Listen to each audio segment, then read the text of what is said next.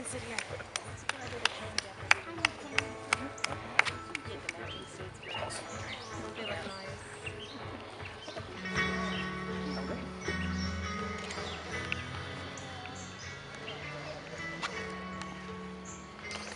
Nick and Mark have asked me to welcome all of you, their friends and family, to this day of celebration of their marriage to one another. Let us rejoice in the bonding of these two as they begin their married life today. Let us remember this day as we begin the celebration of their marriage, the words of Supreme Court Justice Anthony Kennedy from June 26th of this year. No union is more profound than marriage, for it embodies the highest ideals of love, fidelity, devotion, sacrifice, and family. In forming a marital union, two people become something greater than once they were. As some of the petitioners in these cases demonstrate, marriage embodies a love that may endure even past death. It would misunderstand these men and women to say they disrespect the idea of marriage. Their plea is that they do respect it, respect it so deeply that they seek to find its fulfillment for themselves. Their hope is not to be condemned to live in loneliness, excluded from one of civilization's oldest institutes. They ask for equal dignity in the eyes of the law the Constitution grants them that right. Nick and Mark, happiness in marriage is not something that just happens. Good marriage must be created. In the art of marriage, the little things are the big things. It is never being too old to hold hands. It is remembering to say, I love you. It is at no time taking the other for granted.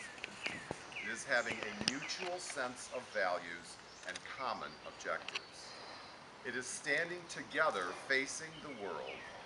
It is doing things for each other, not in the attitude of duty or sacrifice, but in the spirit of joy.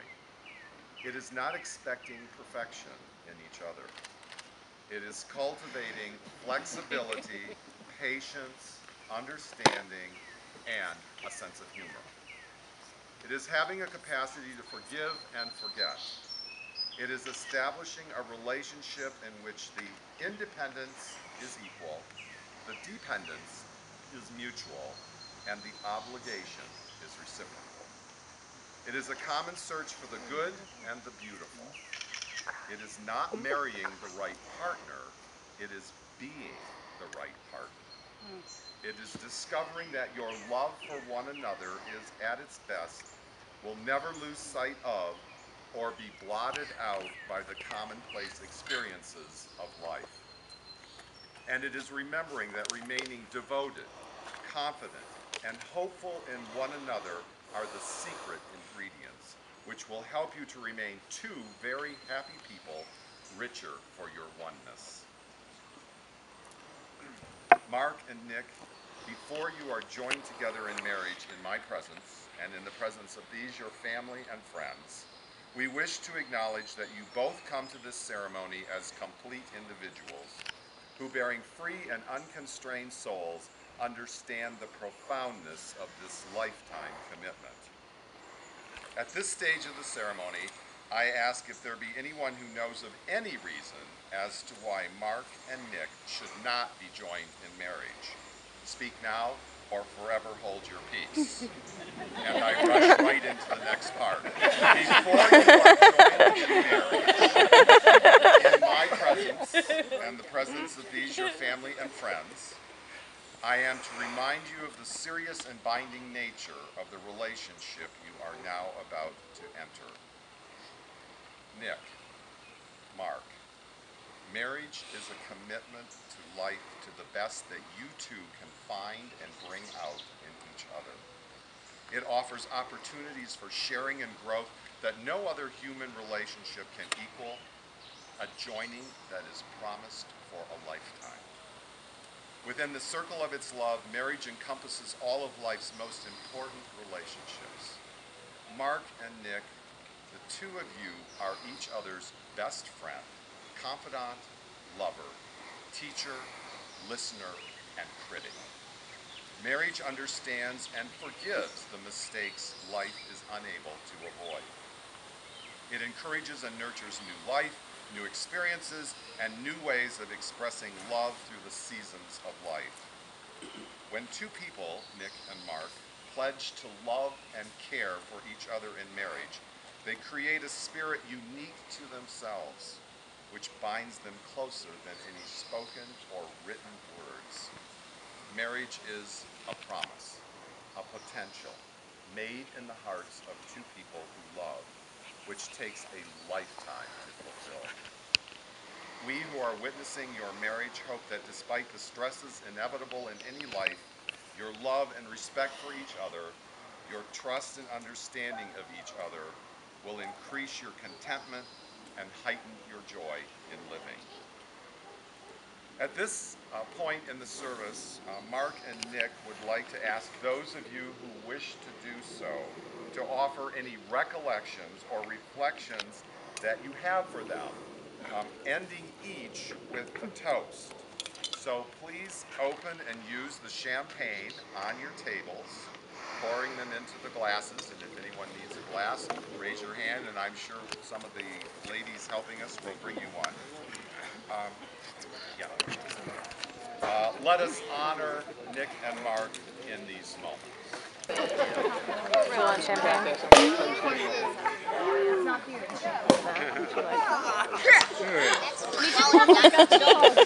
actually swallowed the diamond because they actually dropped in my drink. All right, it's next to, to the right of the wine. Yeah, oh, and the old song. Yeah. Would you like champagne? No, I'm good. Is that what it is? I, I've got one. We knew that we were in trouble when his tank was completely empty of gas, that he insisted on driving into New York City on empty because he thought it was cold. He had to sing, he had to sing, what does the song? New York, New York, New York, a wonderful town. And he said he knew the city so well, he had this fabulous hotel that the three of us were gonna stay in, and he was so proud of it. And we went there, and it was on the, the room was on the third floor, and the room was about the size. No elevators. No elevators, and the room was about the size of that little woodshed over there.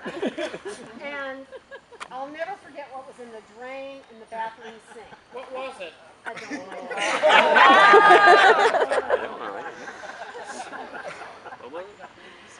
And, and I can't really tell you about the drive home because of the age of some of the people here.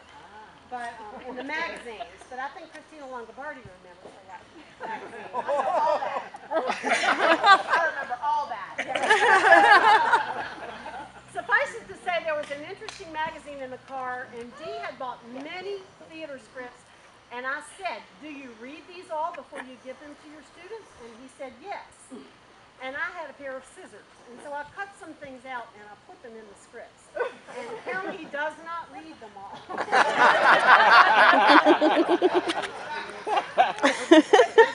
The other thing that made me love Dee is when he let Karen and me be fairies in A Midsummer Night's Dream. And we actually had speaking roles. It glittered. And that was awesome. And, and, and then he moved away from us, but he met Mark and moved back here across the street, thanks to the good graces of the McCoys. And um, they were wonderful neighbors, and they would do any for me anytime. And I miss that almost as much as I miss you. so I love both of you, and Mark has, has certainly helped you mature. That's true. And um, we love Mark equally.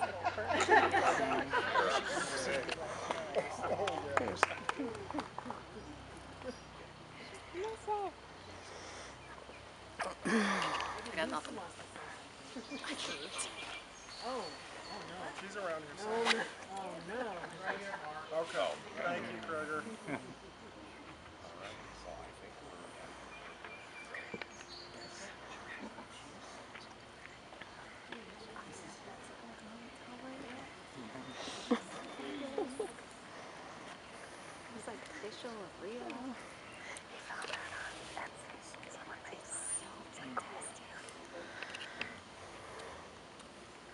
Before you are joined in marriage, I am to remind you of the solemn and enduring nature of the relationship into which you are about to enter. Please join your hands now as you repeat your vows.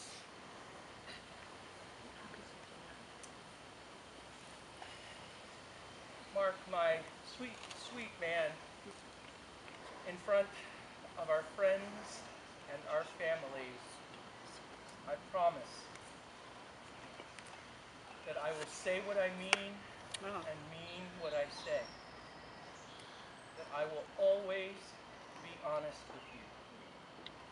That I will never hurt you on purpose.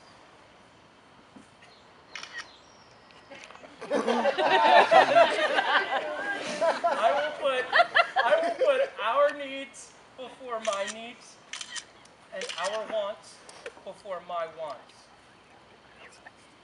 Always take care of you and will depend on you to be my compass. I will love and accept your family as if they were my own. For all the days of my life, I promise to be the best husband and partner that I am capable of being. Nick, loving man, in front of our family and friends, I will always mean what I say say what I mean. I will always be honest. I will never hurt you on purpose. Our wants will come before my wants. Our needs will come before my needs. I will accept our similarities and differences.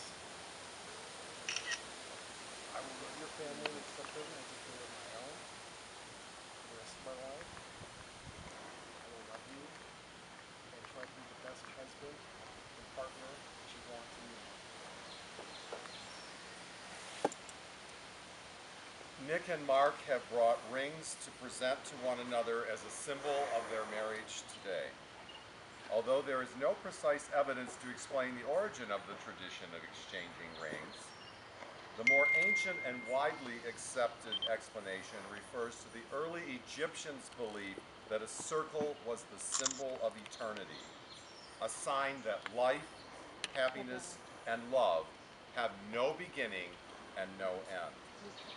A wedding ring or circle was placed on the third finger of the left hand, the ring finger, because it was traditionally believed that this finger was a direct connection to the heart, the perfect spot to place a symbol representing eternal love and commitment.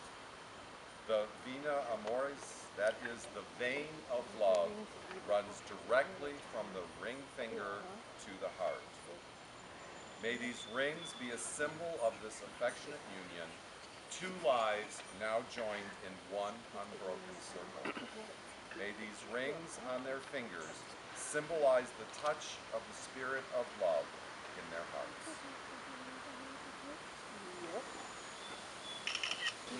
This ring I thee wed.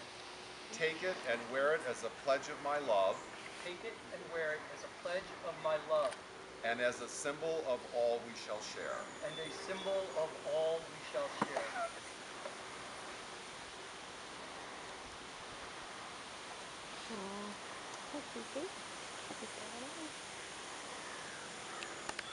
Mark, in placing this ring on Nick's finger, repeat after me.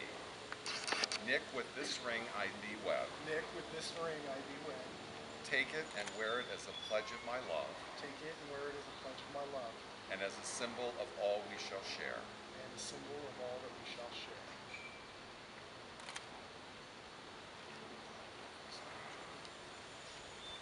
Mark and Nick, you have declared before all of us that you will live together in marriage. You have made special promises to each other which have been symbolized by the joining of hands, the taking of vows, and the giving and receiving of two rings. By the authority vested in me, I now pronounce you married. Now that the ceremony is over and the experience of living day by day as married people is about to begin, go and meet it gladly. You may now seal your vows with a kiss.